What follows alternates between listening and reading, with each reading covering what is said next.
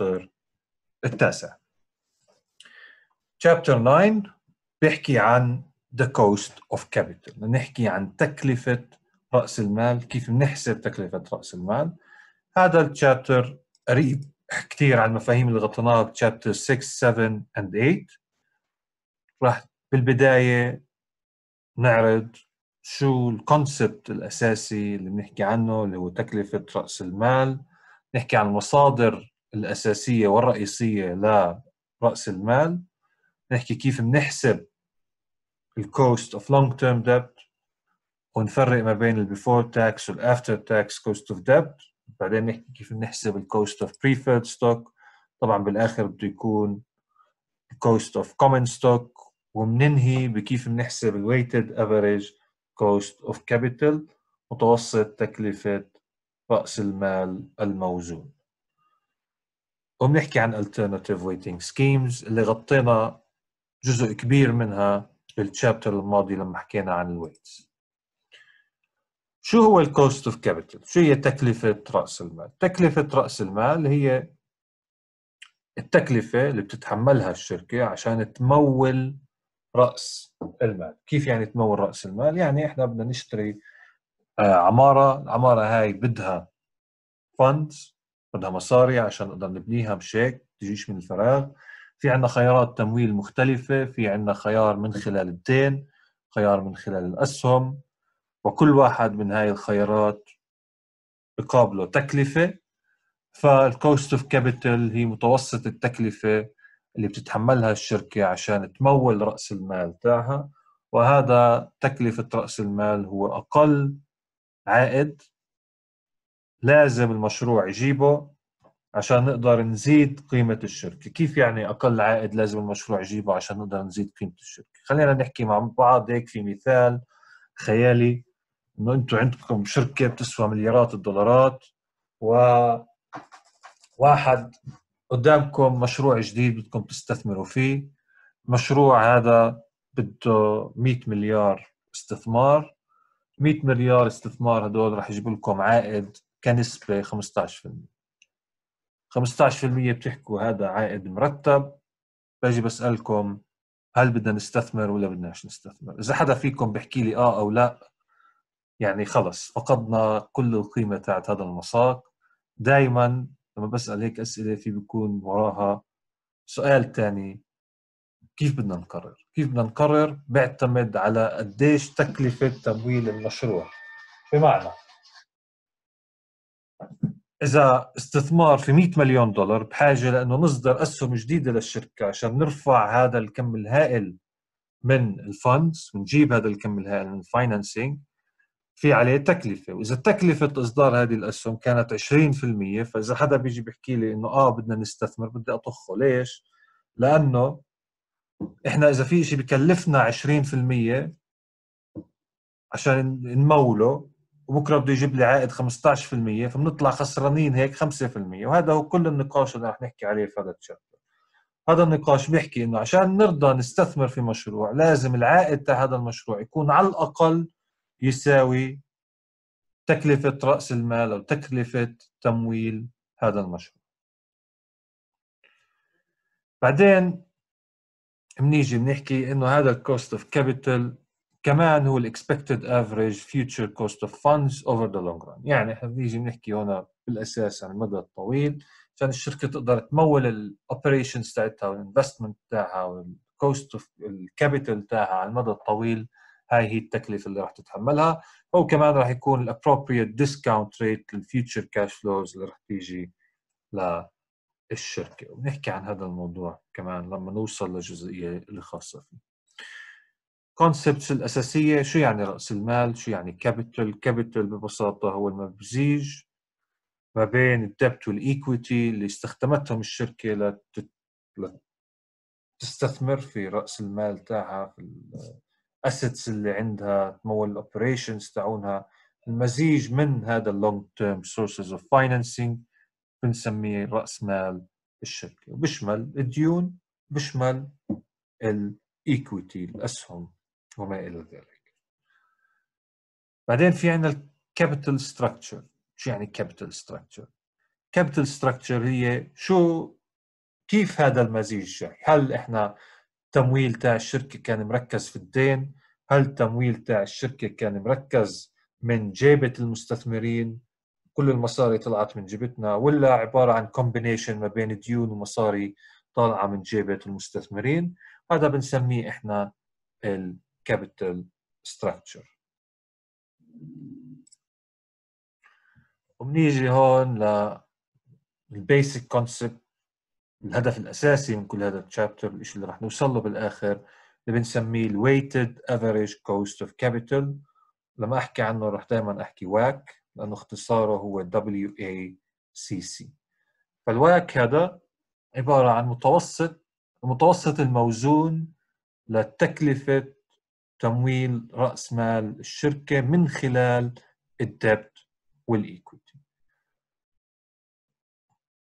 ولما بنحكي موزون الأوزان اللي بنحكي عليها هون هي الوزن تاع التمويل من خلال الدين ومقابله الوزن من خلال التمويل تاع ال equity ك preferred stock أو ك common stock وبنحكي عليهم في حين. نيجي هون بنشوف بعض الأمثلة عن ال capital رأس مال شركات معينة في العالم ومن وين مصادر التمويل اللي إلها. نشوف مثلا Alphabet اللي فيكم ما بيعرف شو Alphabet هي الشركة الأم لجوجل. يعني Alphabet هي الشركة اللي بتملك جوجل. و الفابت بنشوف إنه 99% من تمويل الشركة جاي من خلال الإيكويتي. ولما نحكي 99% من رأس مال الشركة جاي من خلال الإيكويتي. يعني بسبب حجم الشركة الكبير اللي هو ألفابت يعني قيمتها نحكي عن رأس مال الشركة ب 647 مليار دولار واللي هي قد حجم اقتصادنا على 30 مرة 35 مرة شركة واحدة. فهاي الشركة معظم رأس المال جاي من خلال ال equity شنو نوع ال equity؟ هون عندنا على الأغلب جاي يعني هي فعلا جاي من earnings من الأرباح المحتجزة في داخل الشركة. بس بالنسبة لنا هاي الأرباح المحتجزة في داخل الشركة هي أصلا مصاري المستثمرين لأنه لما الشركة بتربح أرباحها هاي اللي بضل بعد ما الشركة تعمل كل الالتزامات اللي عليها تروح للمساهمين. هذا كلها ال equity هي ال contribution تاع ال shareholders 1% بس جاي من خلال الديون يعني كقروض أو ك bonds وما إلى ذلك. بنحكي 1% صح 1% قليله بس إحنا بنحكي هون عن تقريبا 4 مليار دولار جاي من خلال الدين. فهي بالنسبة ل Alphabet كيف ال capital structure تاعها. ال capital structure تاع Alphabet 99% equity 1% debt قديش راس مال Alphabet اللي هي ال total capital مجموع ال equity وال debt اللي هو 647 مليار. في شركة زي General Motors مثلا ال capital structure تاعها 53% دين و47% equity total capital لها 104.6 مليار دولار. هون بنشوف التفاوت ما بين ال capital structure تاع الشركات وال total capital تاعهم طبعا ال total capital في هاي الحالة هو بوصف حجم الشركة فكل ما زاد رأس مال الشركة فإحنا بنحكي عن شركات أكبر ومفروض نتوقع إنه يكون عندها حجم مبيعات أعلى. وفي عندنا هذا المثال اللي بيفرق ما بين two investments investment A و investment B. في investment A السؤال بيحكي لنا إنه في عندنا investment تكلفته 100000 دولار. عمر الاستثمار هذا 20 سنة ونتوقع إنه هذا الاستثمار اللي تكلفته 100000 وعمره 20 سنة يجيب لنا عائد 7% السؤال بيحكي إذا كان بإمكاننا نروح نصدر سندات وندفع على هاي السندات 6% عشان نمول والمشروع بيجيب لنا 7% فبهاي الحالة القرار المنطقي إنه إحنا نقبل هذا المشروع إيه؟ تكلفة تمويله 6% بيجيب لي عائد 7% راح يضل لنا 1% فإحنا بنربح بنعظم الثروة تاعت مالكينا الشركة. نعظم الثروة تاعتنا إذا إحنا الشركة وبهي الحالة بنقبل المشروع. قبل هذا المشروع في عندنا انفستمنت بي كمان تكلفته 100000 عمره 20 سنة بيجيب لنا عائد سنوي 12% ولكن هذا المشروع نقدر نموله من خلال الأسهم. عشان نقدر نموله من خلال الأسهم فالتكلفة تاعت ال equity تكلفة الأسهم common stock equity في هاي الحالة 14% لأنه التكلفة 14% والعائد 12% فكمان بشكل منطقي وإذا إحنا عقلانيين مباشرة بنفهم إنه التكلفة أعلى من العائد. وإذا بنعمل هذا الاستثمار فرح نطلع خسرانين وكأنه 2% بس كمان بنيجي وبنحكي إنه طيب ليش ما نمول project B مثلا من خلال ال debt بعد ما نمول project B من خلال ال debt بدل ما نربح 1% بنصير نربح 6% اللي هي 12 ناقص 6% فإذا قدامنا خيارين إحنا اللي هم يا ال debt يا ال equity فبلزمش إنه نختار بس debt أو نختار بس equity يمكننا نختار مزيج من الاثنين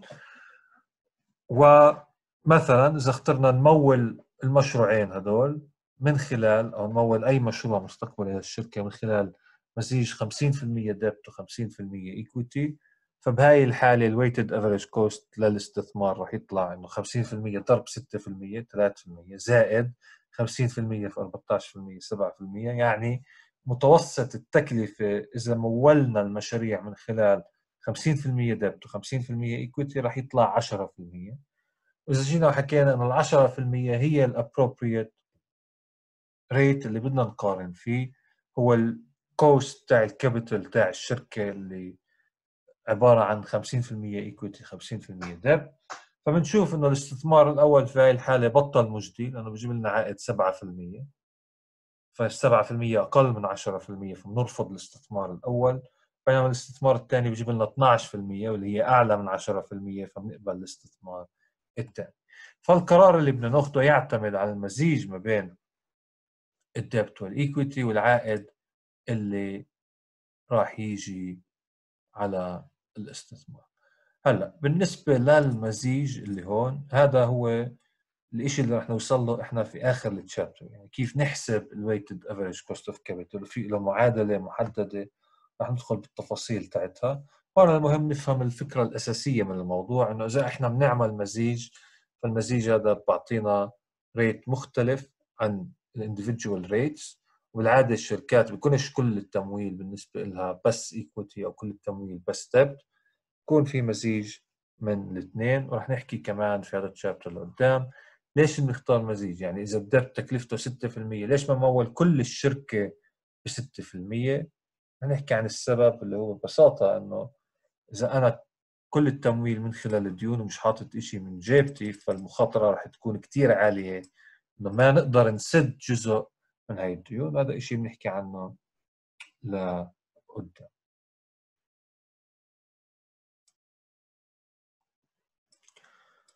طيب sources of long term capital. في عندنا أربع مصادر أساسية لل long term capital في عندنا long term debt الدين قروض سندات وما إلى ذلك. في عندنا preferred stock في عندنا common stock النوع الأخير واللي هو هذا يعني هذا الشيء اللي كنت عم بحاول أحكيه على Alphabet على شركة الأم تاعت جوجل إنه في تمويل من خلال ال retained earnings الأرباح المحتجزة. وهاي ال retained earnings هي واحد من مصادر التمويل الأساسية لمعظم الشركات تمول من خلال الأرباح اللي بتجيها وبتتوسع من خلال الأرباح اللي بتجيها.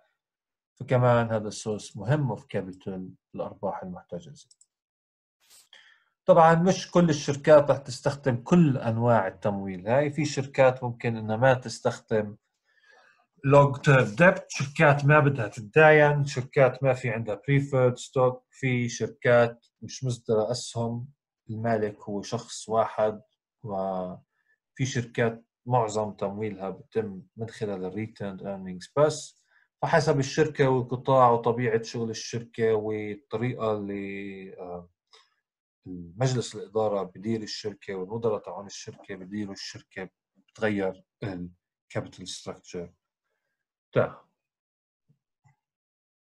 فلما نحكي عن sources of long term capital تمويل رأس المال طويل الأجل يتم من خلال أربع مصادر. حكينا عنهم. Long term debt, preferred stock, common stock, returned earnings.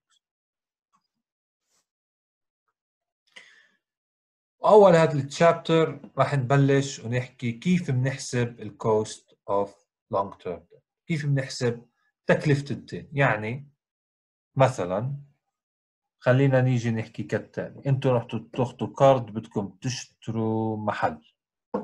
للشركة بدكم تعملوا لها معرض. بعرف شو الشركة اللي عندكم. شركة تلفونات بدكم تعملوا لها معرض في وسط البلد.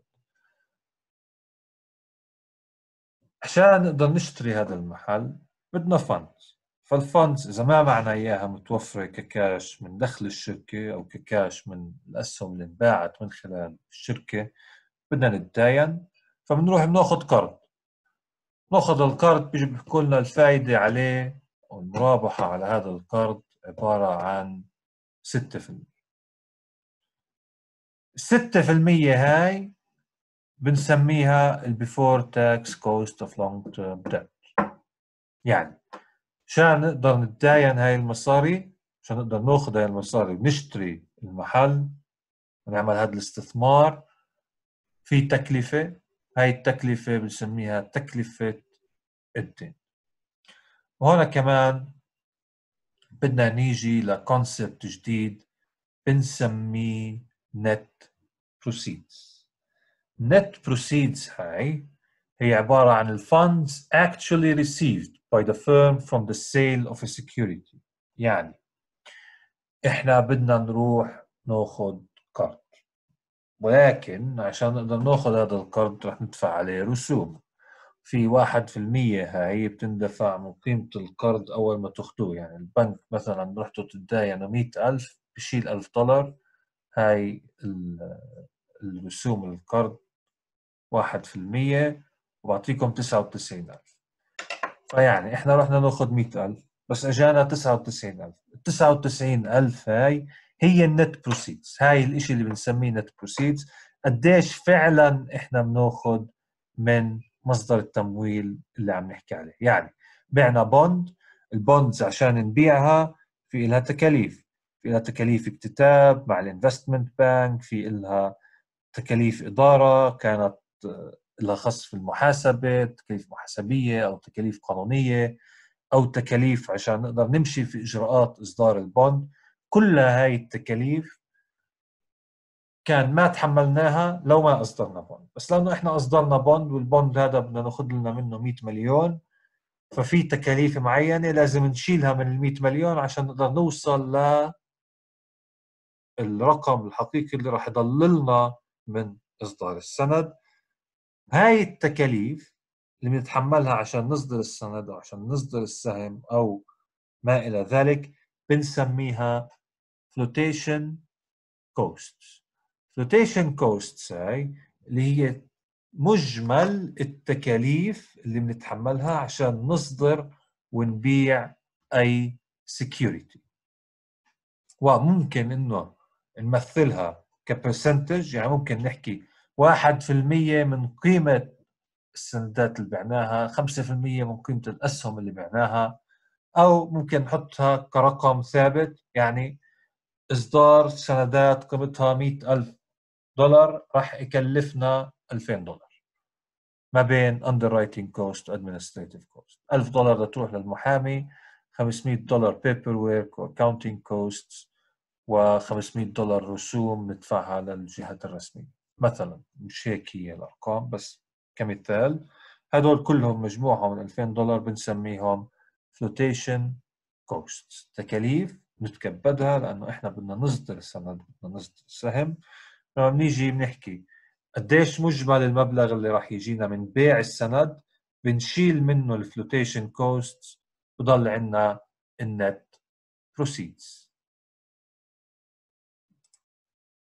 رح نيجي بنحكي عنهم بالتفاصيل أكثر ولا في عنا واحد من الأمثلة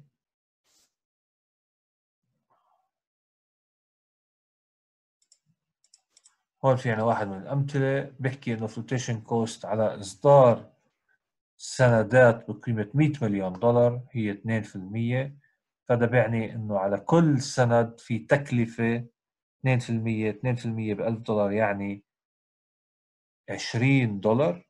فما زالت التكلفة على كل سند عبارة عن 20 دولار. فالمبلغ اللي راح يجينا من بيع كل سند أو صافي المبلغ اللي راح يجينا من بيع كل سند هو 980 دولار. كيف جبناهم ال 980 دولار؟ جبناهم بأنه حكينا 1000 دولار سعر بيع السند بدنا نشيل منه ال flotation costs 20 دولار بضل لنا 980 دولار. هنا بدنا نيجي و آه.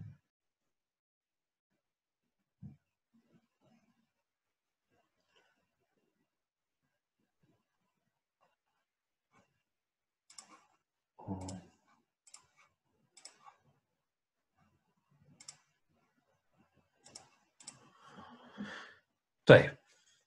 في لقدام رح نرجع نحكي عن net proceeds أكثر لما بنحكي على الاسهم لأنه غاد ال concept بصير أوضح شوي أكثر بنيجي هون بنحكي على شيء بنسميه ال before tax cost of debt وال after tax cost of debt القرض اللي حكينا عنه قبل شوي. حكينا قرض تكلفته 6% هاي الستة في المية بنسميها ال before tax cost of debt يعني إحنا القرض هذا بندفع عليه ستة في المية فهي before tax ليش before tax؟ إحنا بنعرف إنه ال debt له tax advantage يعني له tax advantage يعني ال interest expense بنخصم قبل ما نحسب الضريبة.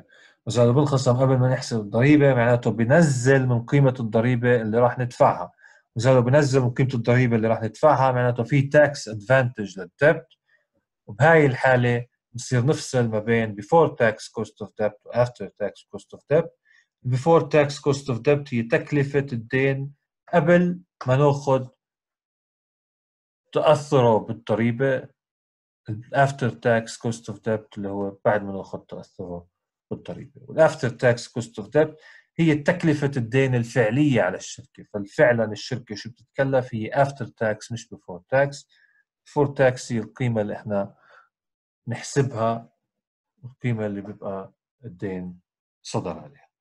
كيف بدنا نجيب ال before tax cost of debt يعني لو إنه قرض وبحكي لكم تكلفته 6% هي سهلة الشغلة. هذا بنسميه ال before tax cost of debt إذا في عندنا مصدرين سندات إحنا ف ال before tax cost of debt ببساطة هو ال yield to maturity.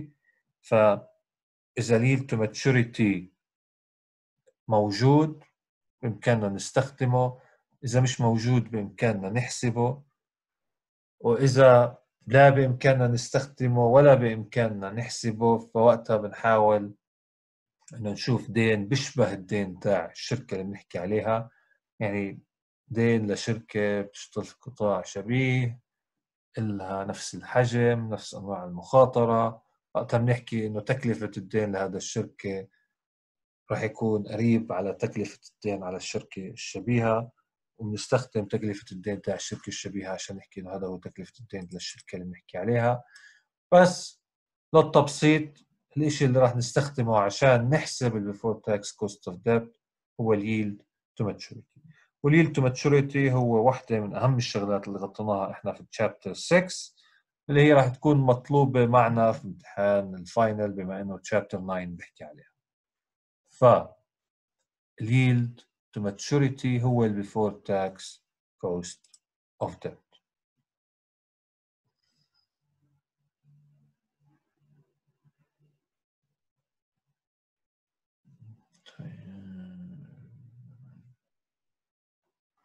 نعرف كيف نحسب before tax cost of طبعا هون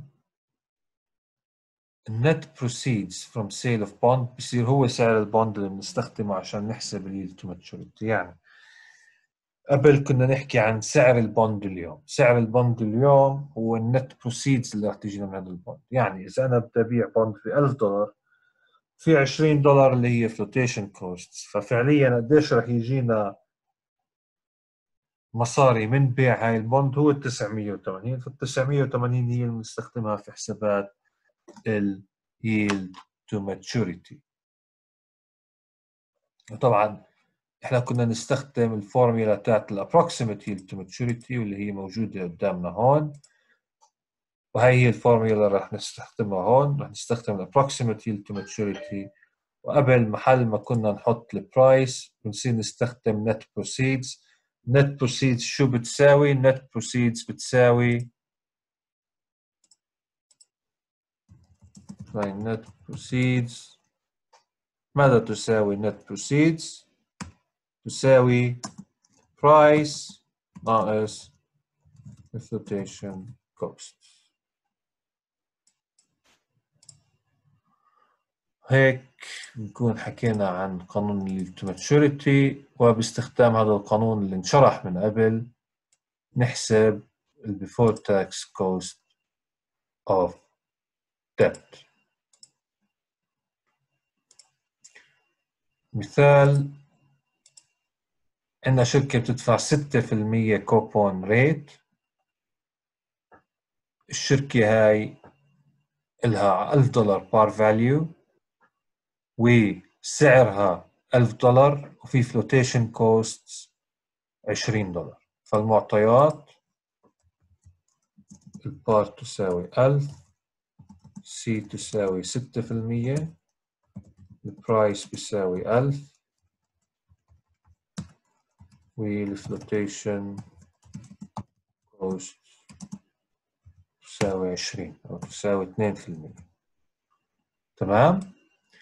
أول إشي بدنا نسويه في مثل هيك سؤال بدنا نيجي ونحسب ال coupon payment نعرف إنه هاي 6% في 1000 فهي 60 ثاني إشي نيجي نحسب ال net proceeds اللي هي تساوي 1000 ال price ناقص 2% في 1000 اللي هي ال price اللي طبعا ال 20 دولار تطلع معنا 980 فهي صار عندنا ال coupon payment وال net proceeds وال par value هلا اللي بنسويه إنه بنطبق مباشرة على القانون تاع approximate yield to maturity. يعني محل I بنحط 60 1000 ما هي 1000 البار فاليو net proceeds 980 أن قديش مدة هذا السند؟ مدته 20 سنة. نحط محل أن 20 و نفس الشيء هون 980 زائد 1000 على 2 نعوض. بيطلع معنا ال yield to maturity عبارة عن 6.162% هذا ال 6.162 بنسميه ال before tax cost of debt. تكلفة الدين ما قبل الضريبة. طيب. ما زال في تكلفة دين ما قبل الضريبة معناته في تكلفة دين ما بعد الضريبة. كيف بدنا نحسب تكلفة الدين ما بعد الضريبة؟ بنضرب تكلفة الدين قبل الضريبة في واحد ناقص معدل الضريبة. ليش بنعمل هيك؟ بنعمل هيك لأنه معدل الضريبة ضرب ال interest expense هو المبلغ اللي إحنا بنوفره لما بنأخذ دين فهذا المبلغ المفروض بناخذ دين اللي هو interest expense ضرب معدل الضريبة فال after tax after tax cost of debt بده يساوي ال. before tax cost of debt مضروب في واحد ناقص ال tax rate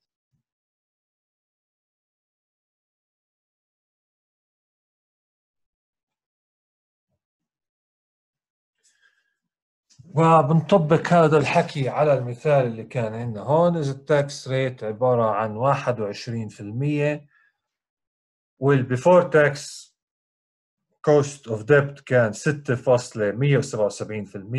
حسب ما أعطينا إياها هذا السؤال. فبيطلع معنا ال after tax cost of debt عبارة عن 4.88% ومن المعلومات المهمة هون إنه تكلفة الدين هي من أرخص أنواع التمويل اللي ممكن الشركات تستخدمها. فال cost of debt is the least expensive form of financing. هي أرخص أنواع التمويل. ليش ال debt is relatively inexpensive form of financing طبعا هذا الحكي يعني مش في كل محل إذا في محلات فيها ال country risk زي عندنا عالي كثير فتكلفة تكلفة الدين كمان بتكون عالية مرات. بس generally ال cost of debt هي أرخص انواع التمويل. اولا ال debt is less risky than preferred stock و common stock. يعني الدين المخاطرة تاعته أقل من مخاطرة ال preferred stock وال common stock وإحنا بنعرف من chapter 8 كل ما قلت المخاطرة كل ما قل ال required return فبهي الحالة كمان نفس الشيء ينطبق على ال debt وهذا الشيء اللي بخلي ال debt low cost form of financing لأنه الناس بتكون مستعدة تتحمل lower lower return on debt لأنه ال risk تاعه أقل يعني ال debt في عليه كثير confidence اللي بتخلي ال risk أقل أولها وأهمها إنه له senior claim on income and assets يعني لازم يندفعوا تكاليف الفائده لازم يرجع المبلغ اللي تداينته الشركة قبل ما الشركة تقدر توزع أي أرباح أو تقدر تعمل تصفية وتعطي المستثمرين حصتهم. الشغلة الثانية والسبب الثاني اللي هي التاكس ادفانتج تاعت الدبت التاكس ادفانتج تاعت الدبت بتخلي الدبت كمان أرخص من ال preferred stock وال common stock وبنعرف إحنا إنه ال common stock dividends ما في لها tax advantage.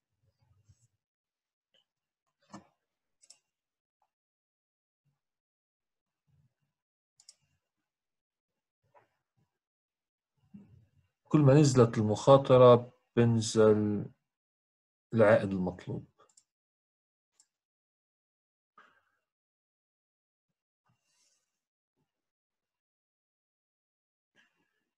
طيب personal finance example. بحكي لنا إنه في عندنا كيت وقاسم اثنين متجوزين بدفعوا ضرائب 28% وهذول الاثنين بدهم يتداينوا 60 ألف دولار عشان يشتروا سيارة جديدة لكجري كار سيارة مرتبة لكجري و بدهم يمولوا هاي السيارة من خلال الدين. خلال إنهم يتداينوا 60 ألف دولار من خلال ال auto dealer الشخص اللي بده يبيعهم السيارة.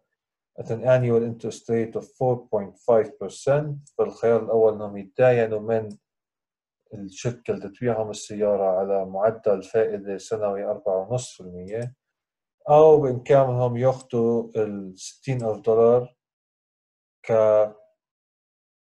second mortgage on their home يعني من خلال قرض رهن عقاري The best annual rate they can get on the second mortgage is 5.5% يعني ياخذوا يهرنوا بيتهم.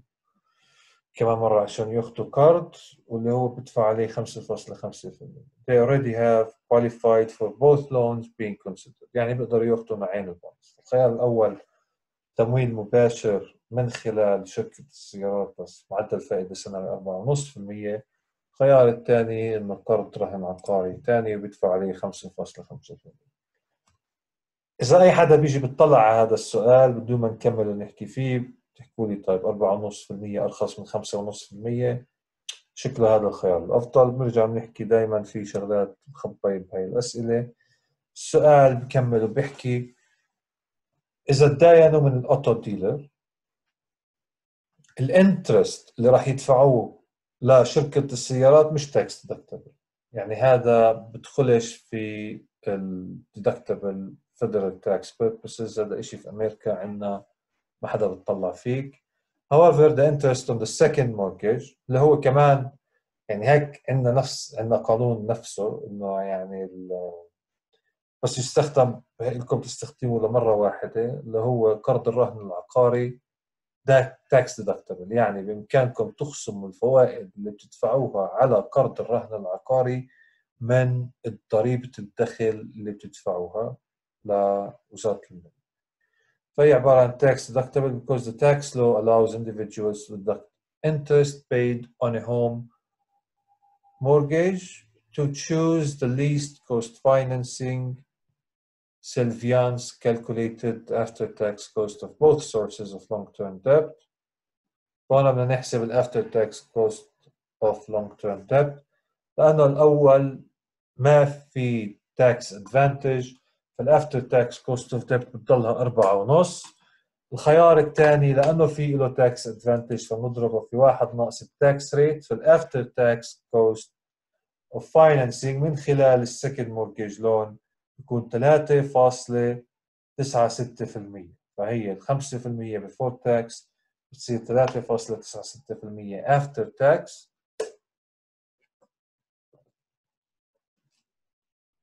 لأنه ال after tax cost of debt لل mortgage loan أقل من ال direct financing من خلال شركة السيارات فبننصح الاثنين هدول كيت وقاسم إنهم ياخذوا second mortgage يعني هو كل هذا السؤال هيك بتضيع شوي. اللي بدنا نوصل له.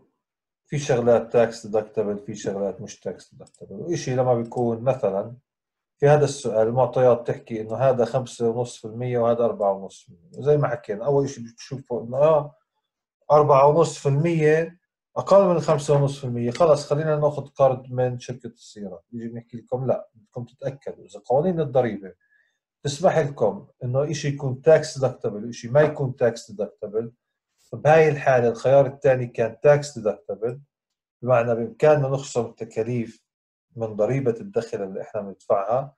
فبهاي الحالة راح يخفف التكلفة علينا راح يوفر علينا مصاري في محل ثاني فلازم نحسب له ال after tax cost of debt فلما حسبنا ال after tax cost of debt طلع الخيار الثاني اللي كان مبين إنه أغلى طلع أرخص من الخيار الأول اللي كان مبين إنه رخيص. هذا بحكي لنا واحدة من الشغلات اللي كيف ال after tax cost بتأثر على تكلفة الدين ليش لازم نأخذها في عين الاعتبار؟ وببساطة كمان مرة أرجع أحكي عن الموضوع. يعني لما إحنا في شيء يخصم من الضريبة اللي بندفعها هذا بيعني إنه راح يخفف من الضريبة اللي إحنا راح ندفعها. فحتى لو كان مبين إنه الريت غالي إذا بنقدر نستفيد منه ونخصمه من الضرائب اللي إحنا بندفعها بوفر علينا كثير مصر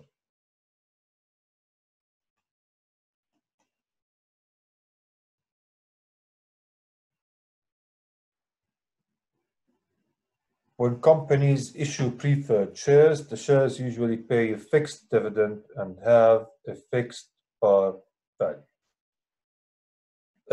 الشيء الثاني اللي بنحكي عليه اليوم اللي هي تكلفة ال preferred stock تكلفة ال preferred stock سهلة ليش سهلة تكلفة ال preferred stock؟ لأنه تعتمد على ال ال rate required return لل preferred stock ولو قانون. إحنا غطيناه بالشابتر سبعة.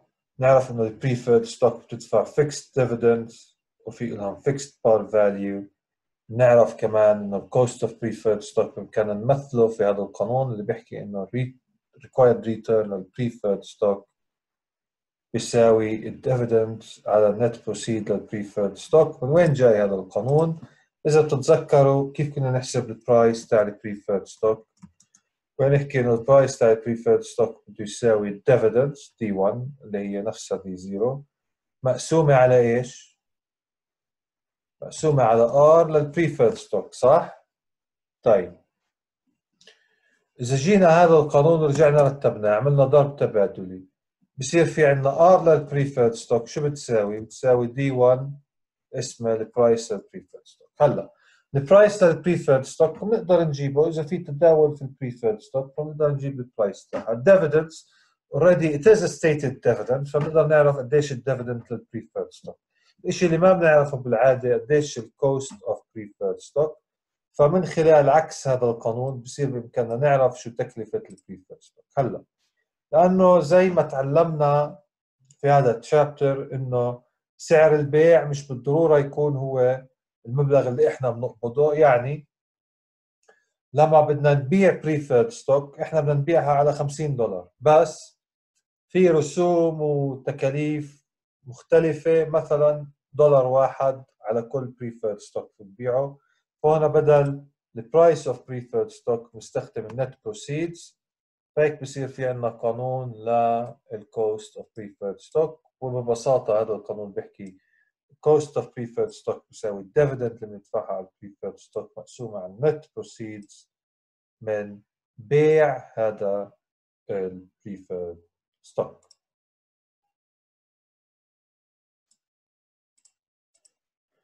هون بنكون صار عندنا ال concept الثاني لهذا ال chapter كيف بنحسب ال cost of preferred stock ببساطة بنقسم ال dividend على ال net proceeds from preferred stock. وهنا في عندنا example. تاتشز Corporation بدها تصدر 8% preferred stock وبتوقعوا إنه يبيعوا السهم هذا الممتاز على 80 دولار per share تكلفة إصدار وبيع كل سهم تكلف الشركة دولارين ونص per share يعني الشركة بتقدر تبيع السهم الممتاز على 80 دولار ولكن في تكاليف بيع وإصدار على كل سهم عبارة عن 2.5 دولار. هذا شو بيعني؟ بيعني إنه المبلغ اللي راح يجي للشركة هو 80 ناقص 2.5 يعني 77.5 دولار هي ال net proceeds من بيع ال preferred stock كمان بدنا نحسب هون في هاي الحالة ال dividends ال dividends بنعرف إنه هذا بنسميه par value preferred stock في له par value فبنضرب ال 8% اللي هي ال dividend معطينا اياها ك percentage في ال par value من خلالها بنحسب قديش رح ندفع dividend على هذا السهم. هذا الشيء إحنا غطيناه في chapter 7 كيف بنحسب ال dividends لل preferred stock فبهي الحالة ال dividend رح تكون 6.4 حسبنا ال net proceed 77.5 ال cost of preferred stock ببساطة لهذا السؤال عبارة عن 6.4 مقسومة على 77 ونص واللي راح تطلع 8.26% فالتكلفة ال preferred stock على الشركة عبارة عن 8.26% فإذا بدها تستخدم الشركة ال preferred stock عشان تمول مشاريع معينة هاي التكلفة اللي راح تتحمل. طيب بنكمل. Finding the cost of common stock equity. غطينا لحد هلا كيف بنحسب ال cost of debt وكيف بنحسب ال cost of preferred stock وهنا بنيجي لفقرتنا المعتادة. أول إشي حاسس شوي اليوم إنه يعني أنا مش عارف إذا فاهمين ولا مش فاهمين. فأنا بدي أسألكم إذا أنتم فاهمين ولا مش فاهمين. ونشوف. مين فاهم عن شو بحكي ومين مش فاهم عن شو بحكي؟ ومين فاهم بس يعني لسه الأمور مش واضحة كتير.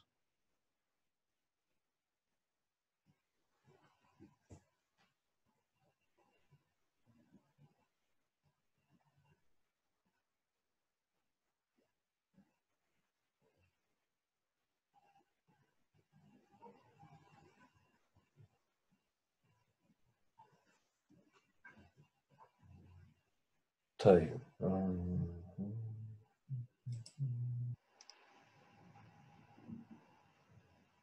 هيك النتيجة فبدنا نرجع نحكي عن الموضوع.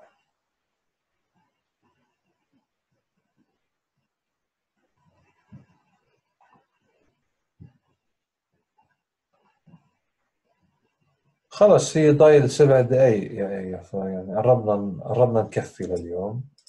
فمش راح أدخل هلا في ال cost of common stock بنخلي ال cost of common stock للمحاضرة الجاي بس راح أرجع وأحكي على ال cost of debt وال cost of preferred stock وعندي سؤال لكم اللي ممكن تستفيدوا منه. أتأكد إنه أنتم معي دائما السؤال آه، السؤال بيحكي كالتالي. رح نختار هذا البول نفسه بس اللي بدي إياكم تجاوبوا عليه. وهل بتفضلوا إنه نحل الأسئلة تاعت الكتاب بعد ما نحكي على كل كونسبت يعني نشرح ونحل مباشرة السؤال ولا نضل على نفس الطريقة اللي إحنا فيها هلأ إنه نخلص نشرح كل التشابتر بعدين طب بلشت تجاوب وأنا مش حاكي شو السؤال لسه استنوا بس أخلص الحكي. طيب نرجع نعيد كمان مرة. بس أخلص شو الإشي اللي بدي أسأل عنه. ما حدا يجاوب لحد ما أسألكم استنى. إذا مع إنه نحل أسئلة الكتاب بعد ما نشرح كل كونسبت حطوا يس إذا مع إنه نخلص كل الشرح وبعدين نحل أسئلة حطوا نو وإذا مش فارقة عليكم شو بساوي حطوا نص نص.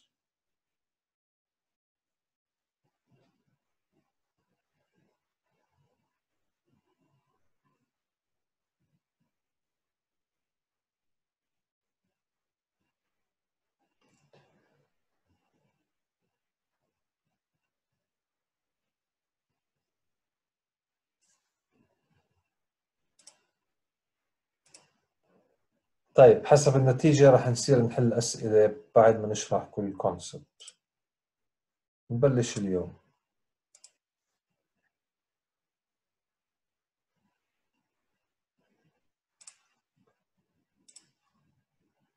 طيب حتى نشوف chapter 9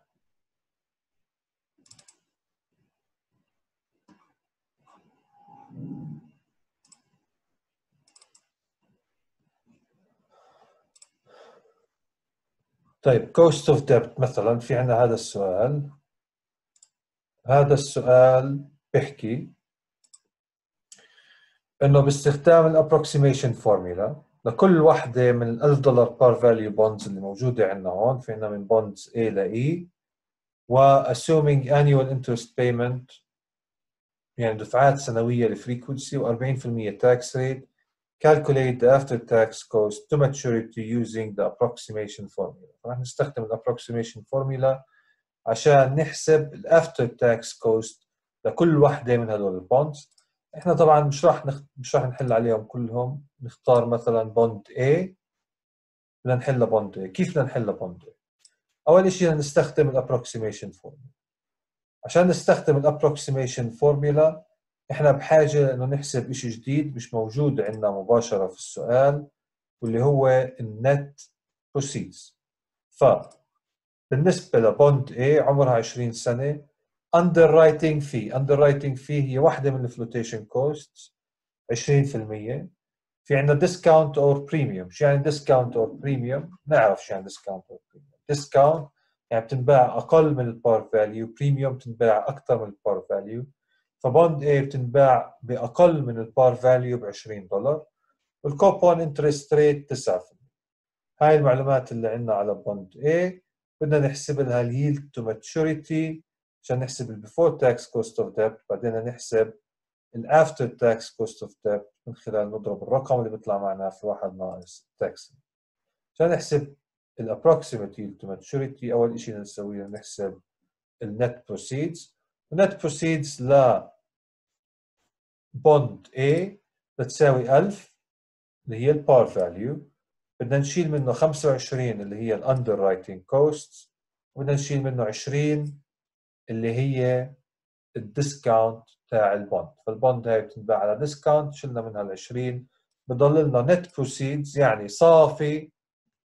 المبلغ اللي راح يجي للشركة هو 955 دولار.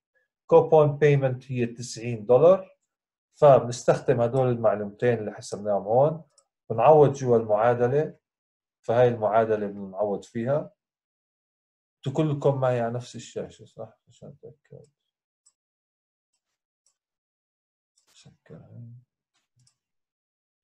طيب تمام. فبنحط هنا 90 زي ما تعلمنا نعوض في chapter 6 زائد 1000 par value ناقص 955 net proceeds على 20 اللي هي ال time to maturity نقسم على هاي زائد هاي على 2 زي ما تعلمناها كمان قبل. نحسب بيطلع معنا ال yield ال approximate yield to maturity 9.44 طبعا هذا ال approximate yield to maturity اللي هو ال before tax cost of debt كيف بدنا نحوله ل after tax نضربه في واحد ناقص ال tax rate هذا الشيء اللي بنسويه هون. إذا ال tax rate 40% فبنحكي 9.44 مضروب في واحد ناقص 40% وبيطلع معنا 5.66 وهيك بنكون حلينا ل bond A. نروح نشوف شيء ثاني فياته معلومات مختلفة. طيب في عندنا D شوف كيف بدنا نحلها. D underwriting cost 15 وبتنباع على ال par value ما زالها بتنباع على ال par value نيجي بنحكي ال net proceeds تساوي 1000 دولار سعر البيع. ناقص 15 دولار underwriting cost فال net proceeds بتصير 985 ال bond كمان ال maturity بتاعتها 22 سنة. تدفع interest rate 11% فهنا بده يصير في عندنا شيء غلط في هذا السؤال